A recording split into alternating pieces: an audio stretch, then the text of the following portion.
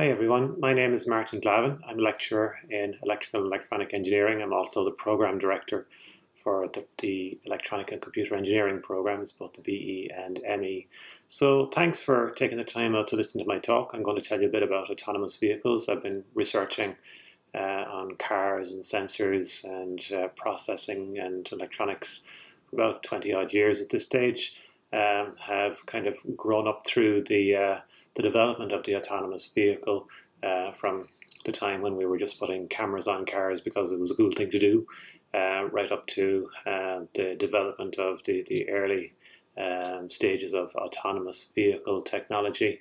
And now, as we start to see cars moving closer to becoming a reality, um, we're looking at uh, how to make them safer, how to work, make them work better in more hostile environments, uh, more difficult environments where there's um, poor weather conditions, poor lighting, um, very busy scenes where there's lots of people, lots of vehicles, uh, and the question is how to do that safely and uh, also how to do it at a reasonable cost so that um, ordinary people can afford these cars. So um, hopefully you'll uh, you'll enjoy just maybe learning a little bit more about why autonomous cars um, are difficult to get on the road in the first place, uh, why we need them, why we absolutely need them, uh, and uh, what are the unforeseen challenges and unforeseen um, quirks that are going to uh, crop up in the environment as, uh, as autonomous cars start to roll out.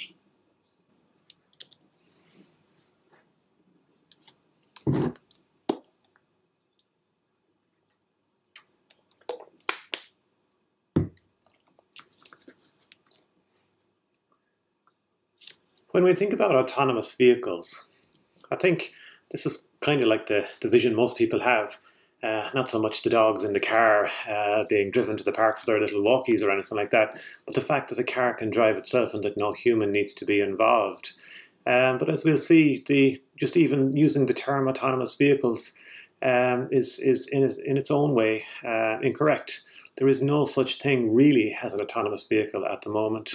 Um, and when we talk about levels of autonomy, that's how, really how we should be referring to uh, autonomous vehicles. We should be saying what level of capability um, uh, does this uh, does this vehicle have? Uh, but maybe let's just take a, a, little step back from from autonomous vehicles for a moment and look at the reasons why they're necessary.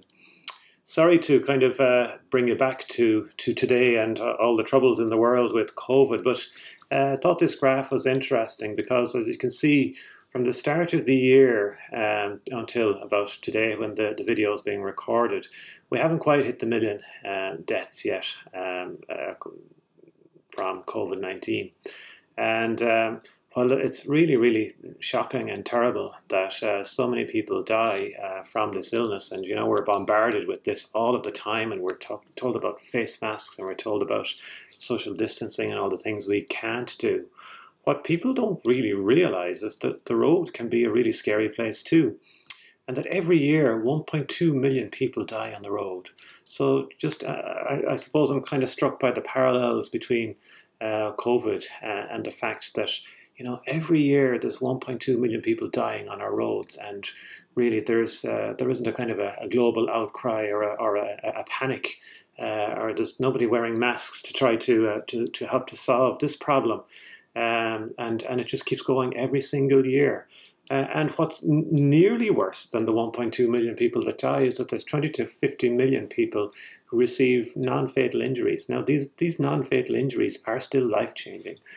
Uh, some people uh, may lose limbs, may lose mobility, um, may may suffer um, pain and anxiety and uh, and psychological issues uh, as a result of, uh, of, of road accidents. So really, we're not safe on the road. Um, letting people out to drive a car is not a safe thing to do. We need technology to support us and indeed take over from us because arguably technology is, is much safer. Now, the problem is we have a bit of a journey to go on uh, to, to get to a point where technology can actually help to save lives on the road. And that's the journey we're on at the moment. So why do accidents happen? Well, we all know this, the, the old stories, the things that are always blamed too much speed, poor driving habits, road conditions, and the road is never good enough, and the uh, use and abuse of alcohol and drugs, and the lack of enforcement um, or laws that we don't necessarily agree with, um, environmental conditions, so rain, fog, snow, ice, all of those things that can cause uh, cause problems. Vehicular factors, so maybe some failure in the vehicle or poorly maintained vehicles, or uh, maybe the tires are, are, are not as uh, as fresh as they should be on the vehicle. Um, but distraction is the new one that has come along in the last few years. Um, we now have so many different uh, ways that we can be distracted. Primarily, I suppose 99% of the time, the distraction comes from our mobile phone or, or some other mobile device that, uh, that will uh, call our attention away. Uh, and when you are um, texting or looking at uh, your phone or, or using whatever social media platform is of interest to you, you are not safe. So you really should never ever uh, drive and text or use your phone or interact with it in any any way. Um, while you're driving, it means that you take your eyes off the road for about 1.4 seconds every time you look. So it effectively means that even though um, maybe you, as a, as a, a young, fit individual, um, you know, with the, the reflexes uh, that are that, that go with that uh, that stage of life. It means that when you're on your phone and when you are texting, when you are um, uh, answering a social media um, uh, call or whatever it might be, to respond to some something on social media, your reflexes um, slow down to that of, uh, of an 80 year old. Um, so your reaction times slow down very significantly, and the stopping distances for your uh, for your car go up uh, by several tens of meters uh, just by the fact of being distracted looking at a second screen. So the big, biggest risk on the road nowadays is the driver. There's a little bit of Homer in all of us when we get into the car. You know, our car will never have an accident if it's left sitting in the car park. It's only when you sit into it and you take control of that and you assume responsibility for the control of the car. Um, that's when the, the, the, the, the problems occur. So how do we solve the problem? Well, we can do all the old stuff, uh, enforce the laws and improve the infrastructure and educate and help drivers, and we can get out there with radar speed traps and all that kind of stuff. Uh, it's never going to work. It hasn't worked for generations, and it's not going to work now. Um, but we could make our cars more intelligent. Um, so uh, what we're trying to do is uh, is trying to make them uh, a little bit smarter by being able to sense their environment and then make some uh, sense of the environment by by figuring out what's around them. And if you know what's around you, if you know where you're going, and if you can project forward to where other people might be going on their journeys, then you can um, predict um, what the likely outcome might be and uh, and take action to um, to solve that. But it's not an easy task because uh, not everywhere is uh, nice clean roads with small numbers of traffic, small numbers of pedestrian and uh, everybody obeying the rules. There are places around the world like this junction here um, where you have um, kind of law of the jungle really on the road. It's, uh, it's usually the biggest vehicle in many countries, the biggest vehicle gets right of way. Um, so you basically try to force your way through um, regardless of, of what the lines are written on the road or what the, the traffic lights might say. But for the most part, um, we try to um, visualize autonomous cars working in some kind of reasonably civilized manner, uh, obeying um, the road markings, obeying the uh, the traffic lights, obeying the laws of the of the land. Um, so it's going to be a challenge to get these uh, these cars to uh, to behave themselves and to uh, and to manage to cope uh, across all the different environments that they're going to encounter. But at the very outset, I was saying um, that when we talk about an autonomous car, it's not really accurate, it's not really a correct thing to talk about an autonomous car. We really should talk about cars and the level of automation that they have. So we could say that level zero is no automation, where you have stupid car, which basically just has a steering wheel.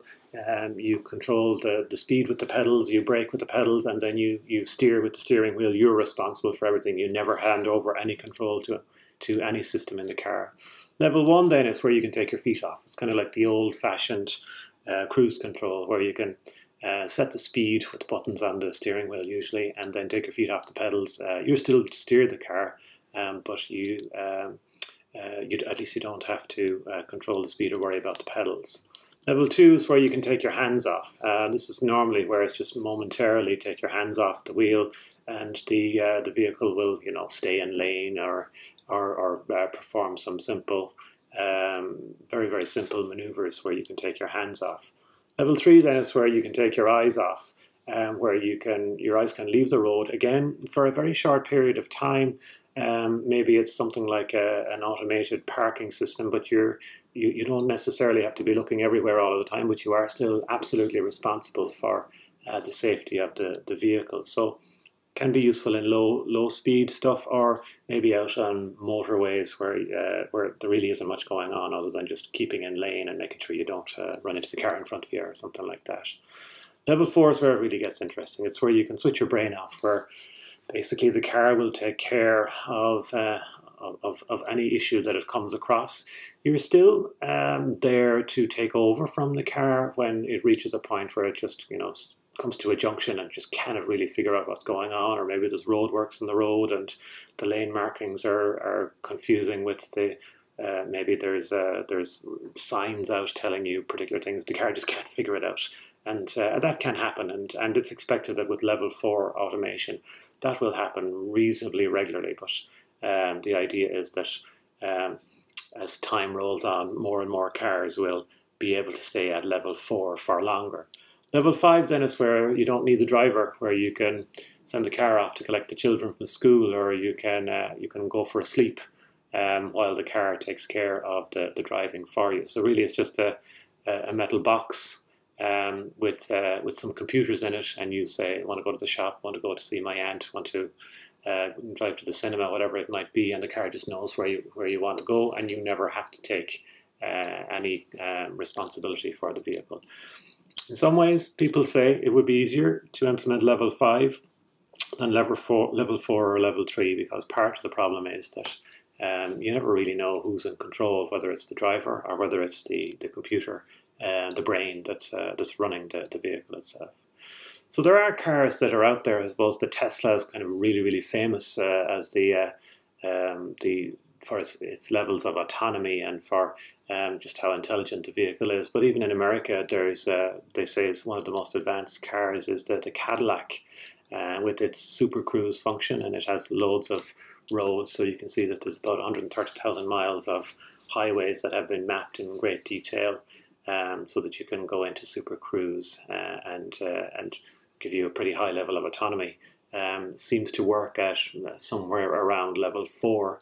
Um, I think what companies are starting to do now is they're starting to talk about kind of level 3.5 and level 3 plus plus and all that kind of stuff. So they're they're trying to uh, be a little bit more kind of um, choosy about how they, they describe the levels of automation, but this seems to be around level four for the roads that it's permitted on. Uh, the car just won't uh, allow you to go into that level of autonomy if you go off any of the roads that are mapped here. But you can see a good bit of the US is, uh, is covered, and it's likely we'll see things like that happening here. So I suppose the thing at the moment is that uh, cars, uh, even the, the, the Teslas that claim to be completely um, able to take, you know, to, to drive uh, unsupervised should be supervised like this.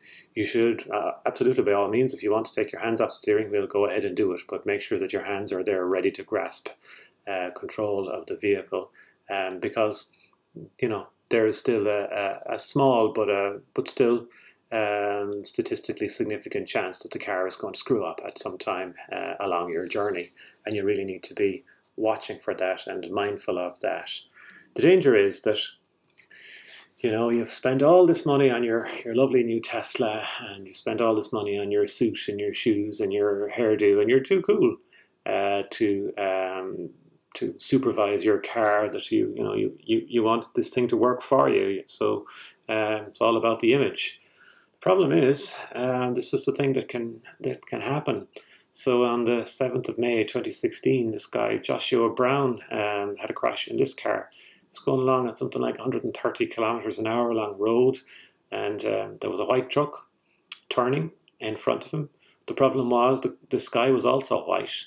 So the cameras saw the white truck against the white, the white sky. The radar sensors saw nothing in front of it because the car was looking out under the truck. There was no wheels in the way and then uh, the car just drove at 130 kilometers an hour straight into the, the, the wheels of the truck, just wasn't able to stop in time. Um, so so this is the danger. This is the real danger with uh, with semi-autonomous vehicles is that maybe we place too much trust in the technology. The technology will work for the most most of the time, but there will be scenarios in which it won't work, and we need to be careful. We need to think about that. So when designers are designing autonomous cars, they think in terms of almost like the, the horse and rider. There's some intelligence in the, the vehicle, in this case the horse, um, or the autonomous vehicle as, as we're trying to uh, as we're trying to, to develop. Uh, but also you have the the intelligence and the um, the ideas and the perception of the driver. And um, we have this kind of uh, concept of a handover of control or a sharing of control uh, between the between the horse and riders. And we're looking at similar um, models for um, for autonomous vehicles. So what's inside an autonomous car? Um, well, the main components are we have sensors to sense our environment. So the environment is everything from uh, the, the road surface uh, to the uh, to buildings and road signs that are all around, and particularly the, uh, the, the, road users. So most particularly, we're looking at pedestrians, other vehicles, um, and I suppose other road users, animals, or anything that any debris or anything that may find its its way um, onto the, the road. The sensor then perceives this environment, and uh, here is shown as an example of a camera, but there's lots of different types of sensors on, on cars nowadays. And then that data that comes from the sensors on the vehicle facing outwards, inwards, front, back, left, right, uh, all goes into a, a, pretty substantial computer. And uh, uh, quite a powerful computer with lots of memory and the ability to process through huge amounts of data very, very quickly. And then ultimately, this computer makes a decision about control. And you know, when you think about controlling a car, it's actually pretty simple. You uh, try to figure out the angle of the steering wheel, and then you try to figure out what speed you need to go at. Um, so the control is is relatively straightforward to ensure that your vehicle um, goes where it needs to go. The trick is to know when and where um, to send that vehicle. Um, and it's funny, you look at all the different technologies that are in there, the sensor, the processor, the control, and all the, the thousands and millions and even uh, more lines of code that are running the uh, these vehicles.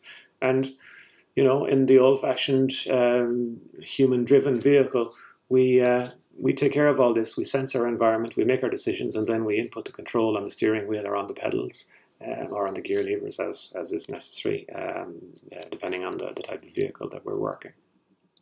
What's inside one of these autonomous cars? Well, of course, you'll have the engine and the, or the batteries, I suppose, as it's going to be in a few years' time, and all of the, the machinery that's required to actually turn the wheels. But then there's a whole load of electronic uh, wizardry in there to make the, the autonomous vehicle sense its environment and make its decisions. So the first thing you'll see up here in top left is a, a global positioning system antenna. So it has GPS. So uh, GPS will tell you where you are on any uh, any part of the surface of the planet. Uh, but even modern GPS is so good now that um, you can actually tell to within about a centimeter where you are uh, in the world. So that's uh, good enough actually to tell you what position you're you're keeping on the road and how far away you are from the white line. So it's really good actually for uh, for navigation. But of course, GPS on its own isn't enough. You always have to be able to sense the environment. So that's why there's a whole lot of other sensors. So you'll see a radar sensor uh, at the back. You see radar sensors here at the front. So the idea is that these are sending out signals, and they're looking for um, these signals will bounce off any obstacles that they come across, and they'll return. The reflections will return back, just kind of like a bat does their their echolocation uh, and then the computers inside will will process the signals and try and calculate what's out there. You may have seen um, on some test cars or maybe some of the Google cars going around this uh, this metal frame on the top of the car with this metal box rotating. So that's a, a lidar system which effectively sends out laser um, light out into the environment uh, which is then reflected from uh, objects in the environment and comes back through the lens into the system and gets recorded and then put together by a computer to generate a, a 3D map of, uh, of uh, everything surrounding the vehicle. So the reason it spins is so that you can generate a, a map from uh, all the way around the vehicle. Um, we'll see a little bit about the LiDAR in, in, in a couple of seconds. Um, you also have video cameras. This one here is a video camera shown looking forward, but sometimes you can have multiple cameras looking forward for near uh, objects and far away objects. You can have cameras on the front and the left and right, uh, mirrors here for looking up and down the road if, at a, a junction. You can have mirrors on the wing mirrors for, um, or, or, cameras on the wing mirrors looking on the, the left and right side of the vehicle so that you can generate a, a view around the vehicle so you can see where you're going when you're parking. Um, you have ultrasonic sensors that are really good for very close in um, uh, monitoring of the environment. So if you're doing um, parking, you can get a very accurate measure to uh, of the distance um, to, uh, let's say, a pedestrian or another car or some other obstacle that might be near you. Where the radar is used for a longer distance um, detection of objects, the ultrasonics is used for shorter range stuff. And all of this is then passed into a computer in the middle of the car, somewhere in the heart of the car. In, in many cases, it's distributed computers with, where there's hundreds and hundreds of computers within the cars. Um, but we're moving towards a kind of a centralized system where there's a central computer that just makes the decision, ultimately, that simple decision, uh, whether to move the steering wheel or whether to uh, move the car um, forward or backwards and choose the speed that it's going to travel at. LiDAR creates kind of a really cool and interesting view of the world. This is what uh, might be seen from the likes of a Google car. So it's this device on the top of the car that has generated this scene. So effectively what's happened is it's sent out laser beams, a number of different laser beams at different heights along the scene. And you can see that there's reflections from things like people here, taller people, smaller people. You've got reflections from cars, you've got reflections from buildings. So the nice thing is that you can generate a, a 3D map uh, and tell the distance to objects. And in some cases you can uh, pretty accurately tell what they are, so you can run computer programs that will identify what those things are. But we also have cameras on the cars, so if we have the footage from the cameras, we can also merge it with this LiDAR feed, and we can get a really good um, sense of what's in the environment of the of the car. And then, um, if we were to look at that over a period of time, we can see this bicycle moving, and we can project the trajectory. So figure out where it's going to go over the next few seconds, so that we can determine whether the car is going to be safe as it makes its way um, along the road. So you can see it doesn't really learn much about road markings or things like that, but it does um, a pretty good job at picking up things that are off the surface of the road, so the likes of people and, uh, and buildings and other infrastructure like that. So this all leads then to uh, a cocoon of sensors, as it's called. So you have the sensors that will measure uh, long distance for the likes of adaptive cruise control to ensure that you don't um, crash into something as you're driving along on your, your cruise control. Um, but also uh, you have shorter range radar and things like that for emergency braking. So if things get very close to you, if pedestrians come into this uh, this last few meters uh, from the, the, the, bonnet of the car, um, then the systems will kick in and uh, and take some emergency action to let's say emergency brake or, or avoid a collision. You've got um, cameras that monitor traffic signs and lane departure and cross traffic alerts. So if you're coming out at a junction, you'll have cameras that'll look up and look down to make sure that you don't um, pull out onto the road in, in front of uh, of uh, of people, or that if there's pedestrians crossing, that you mightn't see, the the cameras will be there to detect those things for you.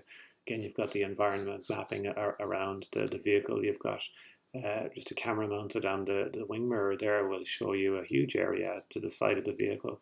And then you've got another uh, array of sensors at the back um, that are going to, uh, uh, for rear parking and reversing, they're going to look at the blind spots of your vehicle and just make sure that you're not, uh, you're not caught out with things that you, uh, you, you cannot see from the car.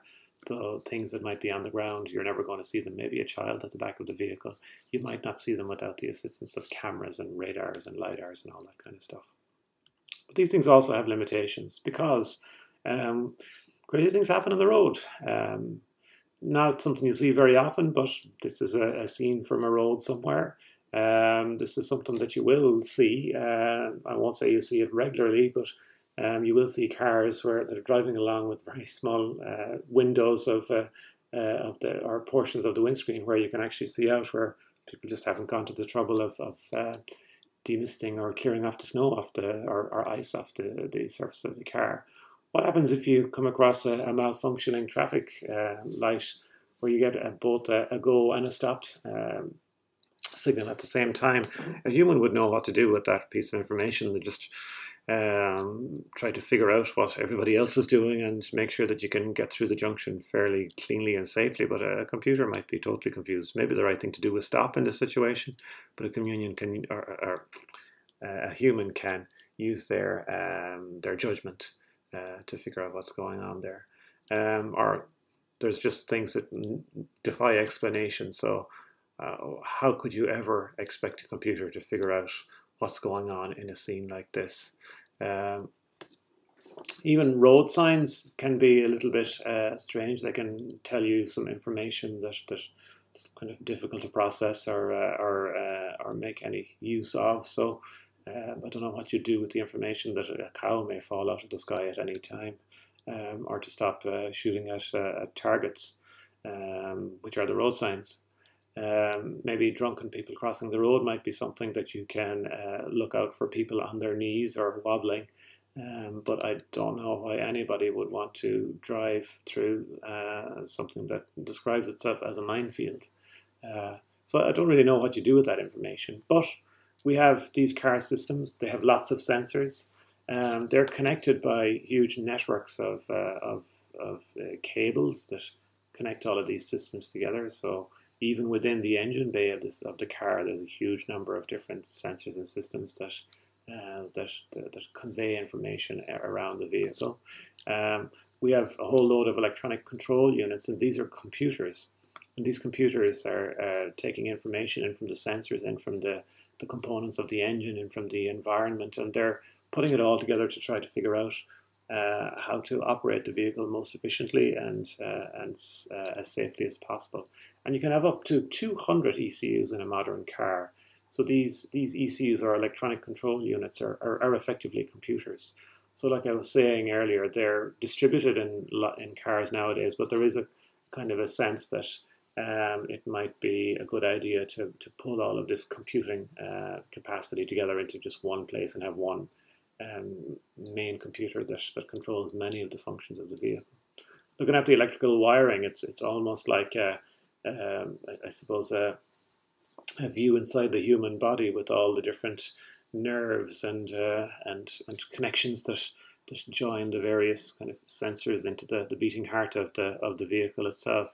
So you can see all of these wires. There's several tens of kilometers of, of cabling that run around the, the vehicle, um, either powering things or measuring information or sending data to and from uh, various different things. And that's that's before you start looking at all of the uh, all, all of the connections in the engine bay with all the fluids and all the stuff that's, that's going on there in the engine. Um, or if you're talking about a battery powered car, um, all of the, the connections and the, the energies that, that have to be uh, controlled and the flow of energy that has to be managed within the electric vehicle. But this is what a, a, an ECU, an electronic control unit, looks like, or an engine control unit. To kind of refer them refer to them as in, in, terms of engines and stuff like that, but really they're just computers. The the fact that they're an ECU is is more to do with the fact that they're in this kind of um, sealed metallic box that is hardened against um, you know temperatures, uh, high and low temperatures, and moisture and all that kind of stuff. So these things are really are ruggedized pieces of electronics that are used to keep cars going for several years. Um, but it's not alone just outwards facing sensors. Many new cars have inwards facing sensors. So here's a, a view of a car that we had on test uh, looking at um, ways that new ways that we can um, manage and monitor drivers. So you can see that there was some cameras here looking at the, the eyes of the person. We had a, an EEG um, cap uh, worn to monitor brain waves, and the person was wearing a wrist strap and a chest strap to monitor their um, their heart rate and their respiration and uh, sweat and uh, uh, trying to establish their stress levels and things like that. So there's lots of things in your cars now that uh, that will monitor the, the driver to see that they're awake, if they've got their eyes open, see if they're attentive, see if they're looking at the road because it's it's really important when you're driving around that you're looking at the road because there's lots of different surfaces and within the car that are important.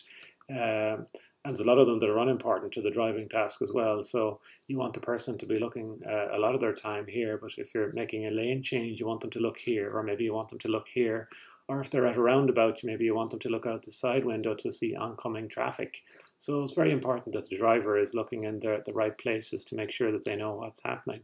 You don't want them to spend too much time looking at the, the interior surfaces of the car. So it's really important that, that we know how the drivers are, are, are getting on.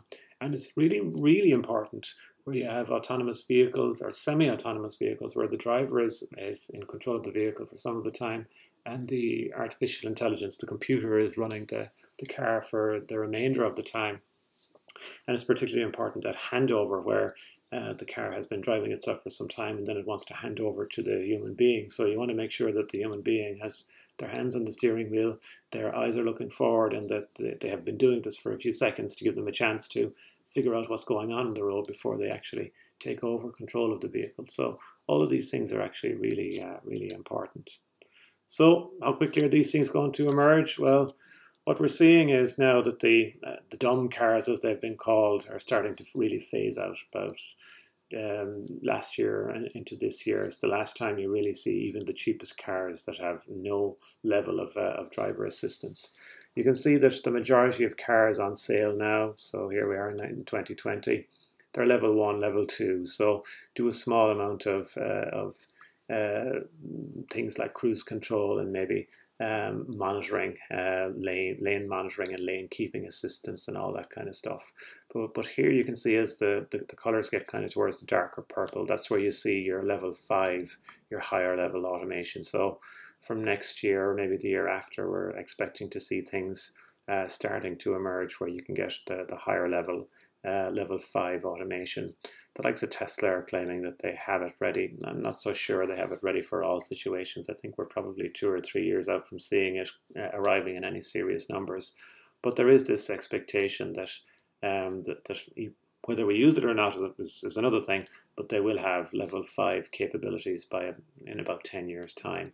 Personally, I think it'll probably go a little bit longer than that before we have level 5 in all situations, but I can certainly see level 3 and level 4 starting to gain um, ground.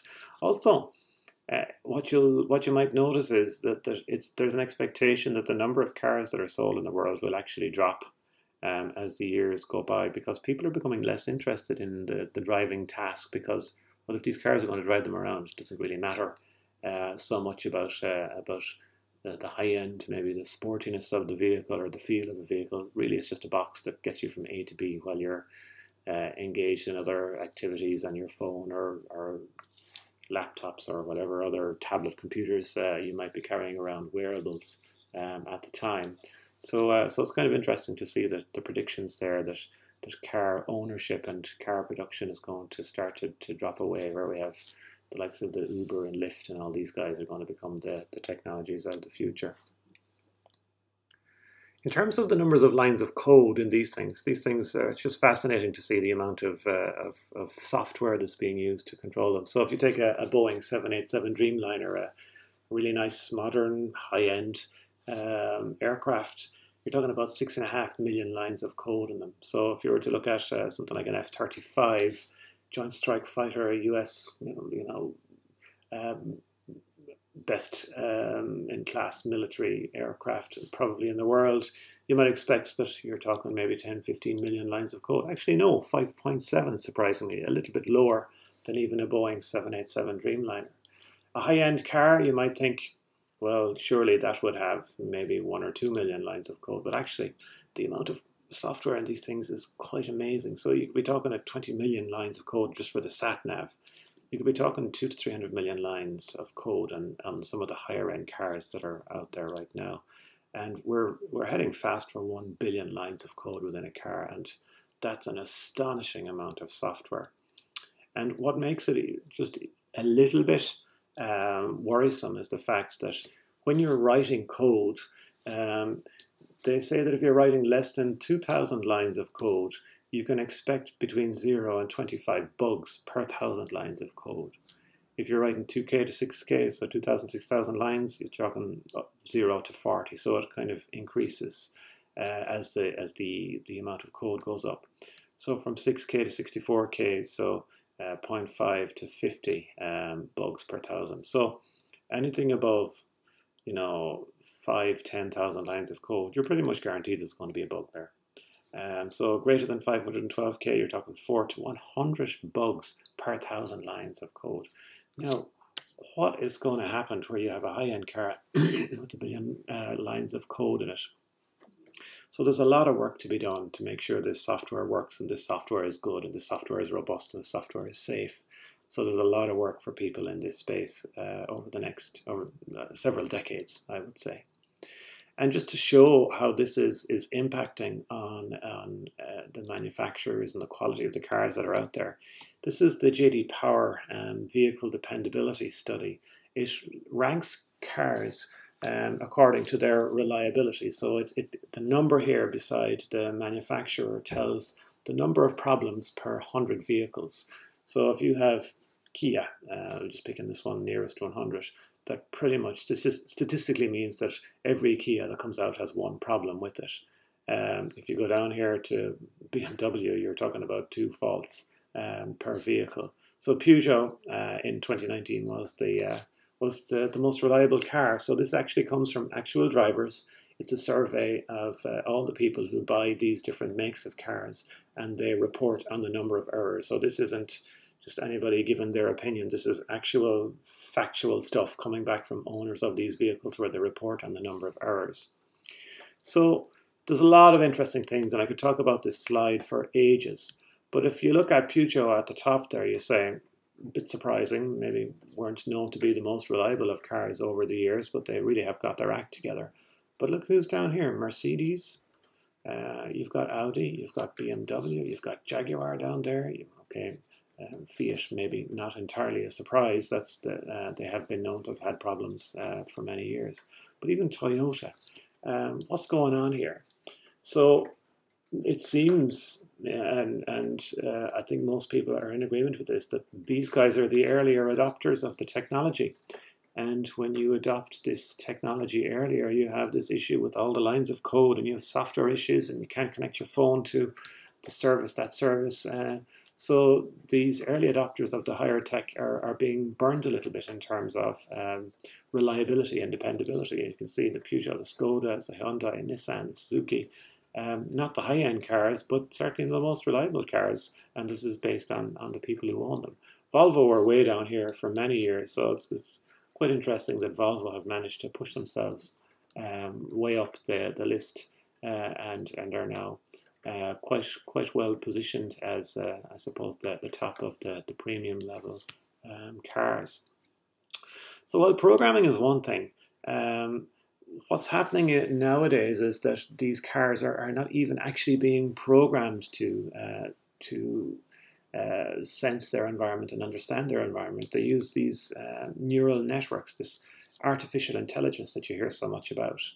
And the whole idea of an artificial intelligence, uh, a neural network, is that you don't um, you don't program it specifically to identify something. You just set up this kind of mesh of uh, of computing nodes, and then you give it loads and loads of examples of of uh, things in the environment, and then you say, well, that's a, an Audi car, uh, and then you take tens, hundreds of thousands, maybe millions of different photographs of Audis, different colors, different perspectives against different backgrounds. And you just keep saying that's an Audi car, that's an Audi car, that's an Audi car, an Audi A7, Audi A4, whatever it is. So that when it sees an image then of uh, a car uh, that it hasn't seen before, it'll be able to identify it. So the idea is that it'll process um, all of these things without you really knowing what's going on in between. So basically what happens is you feed in the image and then it breaks it down into a whole load of different component parts. So it might be looking just for the places where there's bits of contrast, and then it might look for larger things like wheels and wheel arches and the angles of the the um, the, the, the windscreen and maybe the wing mirrors and things like that. And then it starts to move up towards kind of larger collections of each of these lower level features until it arrives at a decision. So when I see these neural networks, I, while they're brilliant, uh, I, I often think of them kind of like like the Father Dougal type character. You you know what you're telling them, but you never really know what they understand, and, and that's the problem with the neural network. You know, it, it it gets it right really really often, but then when it gets it wrong, it gets it spectacularly wrong. So these are the challenges that that face us in the future. Um, but cars are going to be part of a, a huge ecosystem of, uh, of electronics and communication and data and sensors, um, where everything in the in the environment uh, exists as part of uh, a part of the Internet of Things, where um, every vehicle, every person will be wearing uh, these devices. You'll have the buses and the taxis, and you'll have tour buses and ambulances and uh, aircraft and railways and all of those things connected together. So they're all the things that, that kind of move, but also lots of fixed objects in the environment. Um, you might have uh, buildings, you might have sensors uh, out on farms monitoring animals, monitoring uh, water resources, and all of these things building up a kind of a, a digital picture of, uh, of, of, what's going on. Um, here in NUI Galway, in my research group, we're doing some trials uh, of these kinds of things ourselves. So um, this is a, a, picture of our, our test vehicles. So we have um, a, a, new Mercedes from last year that is uh, currently it's fitted out with a, whole load of uh, sensors for uh, autonomous driving. We're also building some uh, fixed node sensors that we're going to be placing on campus over the next few weeks and months. And the idea is that uh, we can feed information from uh, these fixed node sensors, send it up to the cloud, and pass the information back down to the vehicle so that as it drives along, uh, as it sees these VRU, vulnerable road users, so particularly pedestrians and cyclists, uh, it might see somebody uh, walking along uh, and maybe the car is blocked by this other vehicle so it can't see through this other vehicle but maybe it can be seen from this camera which passes the information up to the cloud and down to the car to, to warn it of a, a pedestrian. And part of the work that we're doing is trying to make this stuff work in uh, so I suppose work together in terms of the vehicle and the infrastructure but also for for poor weather and nighttime operation. Um, so just to give you a sense of how, how difficult it can be um, this is a maybe a scene uh, that you might get at night, um, maybe snow or, or heavy rain and lots of reflections from lots of different surfaces. And, you know, from the point of view of trying to tell an autonomous vehicle how to drive, which, which of the red lights would you stop at here? Because, uh, uh, like the Christmas song says, there's red lights all around. Um, but the, the, the cost of getting it wrong is, uh, is, is a pretty high price to pay. Um, so that's one of the challenges that hopefully we're going to be looking at over the next few years as, as part of our research. And maybe it'll be something that you, you might like to join us in a few years on, uh, on developing some of this technology. So when we talk about autonomous vehicles, I, I think there's a kind of a, a, few kind of slightly funny and quirky, uh, unforeseen consequences. Um, pedestrians can bully cars. If you know that a, a car is uh, being driven autonomously, uh, by an, uh, an, artificial intelligence, just walk out in front of it because it's going to stop, um, which might have an interesting effect on, on somebody who's trying to get uh, an hour's sleep while they, they're driven around in their car. Um, if this car is going to be jamming on the brakes all the time with pedestrians just walking across. Nowadays, there's a, a kind of a, I suppose, an unwritten contract that we, we kind of keep separate from people who are driving the cars and from the, the people, the pedestrians who are looking to use the road. We try to keep a separation because uh, there's always that danger that you might be missed by the driver. But if you know that the artificial intelligence is always going to brake, then why not just uh, walk out in front of it? Um, another place that vehicles might be challenged is uh, uh you can imagine these two guys coming home from a night out. Uh, could be mighty crack to jump out on the road in front of a, an autonomous vehicle to shake up the people inside. Um, but also, lots of people suggest that maybe uh, these vehicles could be used to, to drive people home when they're not in a, a fit state to uh, to to take control of the vehicle themselves. So it's hard to know how that's going to go. What would an autonomous vehicle make of these types of situations that we're seeing in Ireland? Um, so where you have to, you know, a, a flood doesn't look like a, a, road surface that has any potholes on it. So potholes is one thing, but if you're on water, it looks completely flat and looks uh, like a, a, completely viable surface. So how does the autonomous vehicle figure out how to navigate carefully through a, a, flood? And then the likes of these potholes, what do you do? Do you go straight into them? Do you drive around them? Is there a way to navigate through? Do you just stop and say, I, I can't do this anymore? Um, or even a situation where you have road markings that are partially worn or have been erased and the, the, the black paint over them has just washed away. So now that the old ones the old road markings are coming back to confuse the, the new ones. So uh, lots of tricky situations like that that could be difficult for a computer to, to try to figure out. Another thing, uh, if we have somebody who's part-time driver and part-time passenger, you could call them a drivinger. Uh, but who's in control? Who's responsible? Um, if you're driving along and you're looking out, how do you know who's actually in control if uh, should an accident happen? And uh, you know, are you going to go to the uh, to the judge and say, well, actually, that you know that stupid mistake wasn't wasn't my fault; it was the car's fault, and maybe there'll be black boxes there that will uh, that will record uh, what has happened over the last while. But you know, it's going to get a little bit trickier to try to figure out um, who's at fault uh, when when crazy stuff happens on the road, as it always will. Um, another thing that's a really unforeseen thing is that motion sickness will become a problem for drivers because if the driver is is being driven around in their vehicle, they're not in control. They're probably looking at their phone. They might be looking at their mobile. Uh, certainly not looking out the window and keeping uh, their their um, eyes on, on on the task at hand. Uh, the chances are they could become motion sick. Uh, I don't know if any of you have ever become motion sick, but um, the last thing on earth you would want to do when you become motion sick is uh, is take control and drive a car. Um, so that's going to become a problem. We're going to have to deal with that problem. Another issue is what happens if your uh, if your car gets hacked.